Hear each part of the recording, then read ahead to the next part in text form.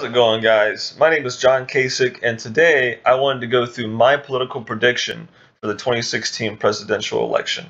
Before I start, I want to make clear that I am an independent and I'm not voting for either Clinton or Trump. I hope to have a very objective opinion using only the polls and the facts.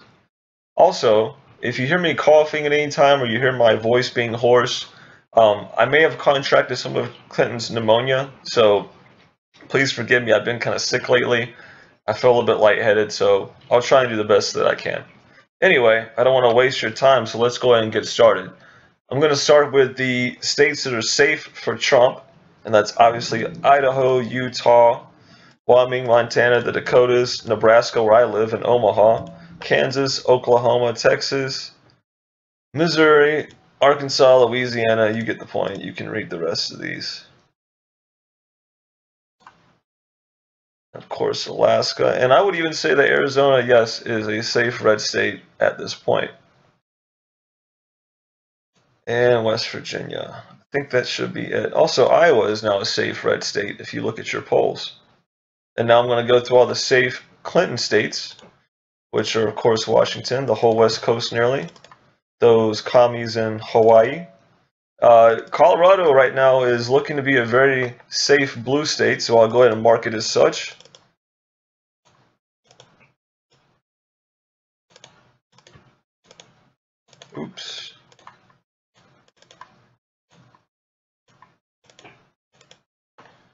You may be asking me why I have these three up here, and of course Pennsylvania, as safe blue states. I'll get into that here in a few minutes. But before I do that, I want to talk about, oh, sorry, got Virginia. I want to talk about Florida and North Carolina. Now, these are obviously very uh, close states. If you look at the polls, they're almost dead even. Um, some have Clinton up, some have Trump up. Well, in my opinion, the Hurricane Matthew, which will be touching on Florida any minute now, in fact, um, was made by Putin at the request of Trump to kill off East Coast Democrats. So I think his mission and his plan will be successful, which will make Florida, North Carolina, and yes, even Virginia a safe red state. Now, if we look up here, without a doubt, Trump is going to win just based on that alone. With the hurricane coming, it's going to wipe out Miami. Uh, my home hometown of North Carolina, Wilmington, North Carolina, right here is going to get wiped out. All those fucking commies are going to be dead. So they're all going to vote for Trump. Trump's going to win. Now, with that being said, I don't think the last or the final vote will be 260 to 272. I think Trump will win nearly every single state, and I'll show you why. So these three states are safe Trump, no doubt about that. Um, now, people always ask, you know, or they always say Minnesota and Wisconsin and Michigan, they could very well be flipping red. And I believe they will, without a doubt. All three will be flipping red, and I'll tell you why. If you look closely here at the outline of Minnesota, you can see the hair, you can see the very I wouldn't say smug, but strong and respectable face. I say it looks just like Donald Trump. Course, you learn maybe in fifth grade geography class that there's, you know, an outline of a man here. Um, but I would beg to say that the man is Donald Trump, and this is his wall. Not dividing America, but bringing America together. He is the glue of the Midwest and thus the whole nation. So, with that being said, Trump will definitely take Minnesota, bring him to 282. Now, if you look at the border here between Minnesota and Wisconsin, you can obviously see the face of Minnesota. But if you look on the right side, you can see a face of Wisconsin as well. Well, I think that is the face of, uh, what's his name, Scott Walker, the governor that ran, was in the primaries and dropped out before he said he was going to run. He dropped out on day zero. But he's got, you know, kind of an upset face. He doesn't really like Trump that much.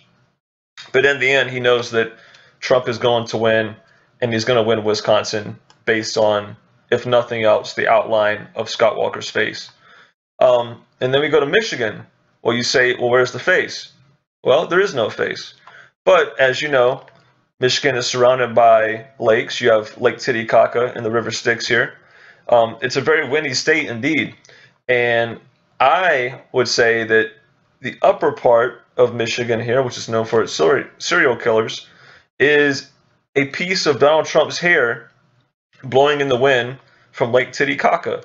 And that would beg the question well, what is the other mitt for? Well, that is the hand of the Michigan supporters that will say, I will support you, Trump. I will help you here in our state. And do I need to say anything else? Michigan's going for Trump. So, if you follow Alex Jones, he's a very smart man. He never lies. You would know that Bernie Sanders, the next Tsar of the Soviet Union, will be will be getting his rebate for selling his soul to the devil here maybe today is the 6th of October. It's planned for 20 October. So, and two weeks from now, Bernie Sanders will be getting a rebate from the devil for selling his soul to the devil. And it is believed that Bernie Sanders Bernie Sanders will use that to create a communist uprising in all the hubs that voted for him back in the primaries. So, of course, Trump will fight this down. He will go to Vermont. He will defeat Bernie Sanders. But as you know, the socialists and the communists that support Bernie Sanders rarely have an IQ above six. And of course, you know, socialism and communism are associated with the color red. So come election day, and almost a month from now, they will be voting for their favorite color, which is red, which, believe it or not, will lead to most of the remaining Clinton states turning red. So that will make New York, Vermont, New Hampshire, uh, Maine, Massachusetts, Rhode Island, and Connecticut the new 19th Socialist Republic in the USSR. Um, that will bring Pennsylvania to Trump's side as well as Maryland and Delaware. Not New Jersey, though. We'll get back to that. Illinois, the entire West Coast, at least the coast part of Washington and Oregon, are filled with some dirty ass hippies, dirty ass commies. There's tons of communes and, you know, nudist colonies along the coast, and they're going to vote Trump. They like the, color red. They're going to vote for red. And of course, California is no different. No different. You have uh, new New Mexico here in Southern California, where the dirty Mexicans are. Uh, day one, as Trump has said, they're going back. So, you know, they're going to vote blue, no doubt. But the hippies, the commies, the dirty liberals, the socialists, the Bernie supporters, they're going to be walling out and they're going to vote red. Um, so yeah, and also Hawaii will be in that same same basket there, and New Mexico. So we have three more states. Trump is already at 506. Obviously, he is domineering Clinton at this point, as he should. You know, with a strategy like his, I don't see how you can lose. And he will at least get 506. But there are still three states here, and I'll go through those real quick. Uh, Nevada, as you know, is polling very close for both Clinton and Trump. Um, with all the things that are going to be happening in the next few weeks, especially the whole Bernie Sanders thing, I think it's safe to say that they will go for Trump. Um, and then we have Colorado. I'll save that for last. And then New Jersey.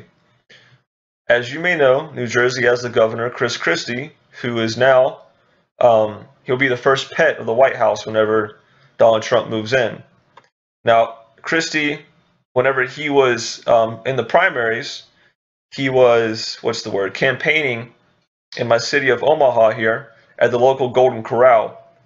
And someone brought up the whole Bridgegate that you may remember happened in 2013, where he, long story short, prevented commuters from using toll gates, causing a big ruckus. I don't know that much about it. You can look it up yourself. However, it is planned that Christie will be doing the same thing on election day.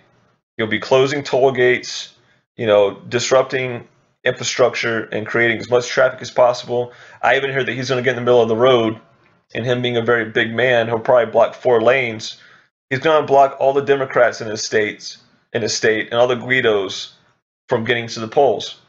And I, I think it's obvious that if this plan plays out, New Jersey will be going for, for Trump.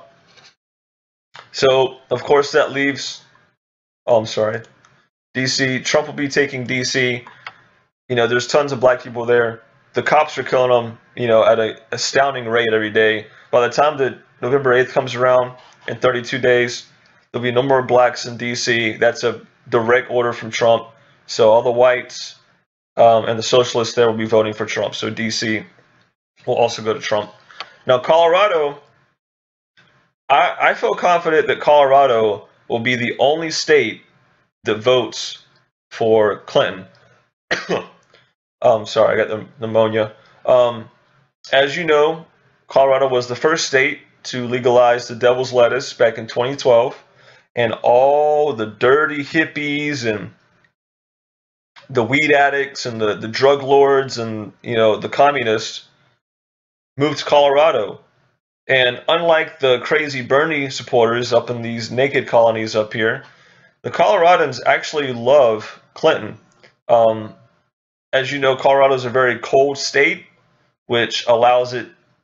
In fact, I don't know if you know this, but it has the highest rate of pneumonia in the U.S. And obviously, about a month ago, you know, three weeks ago, Clinton was pandering her best to all the uh, to the pneumonia vote. So I think that Colorado will be the only blue state uh, on November 8th, and um, hopefully Trump, you know, he has the plan to build the wall on the southern southern border here. I think that he uh, should really hammer down on his policy to take all the weed addicts in places like Oregon and Washington and D.C., of course Colorado, and deport them to Colorado, and then build a wall right on the border here with Colorado.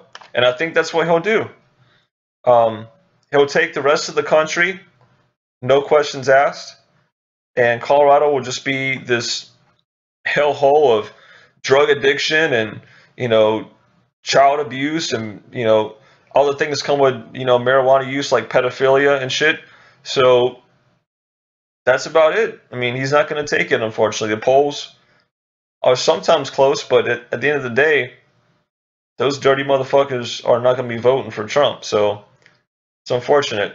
However, with that being said, it's obvious that Trump is going to demolish Clinton.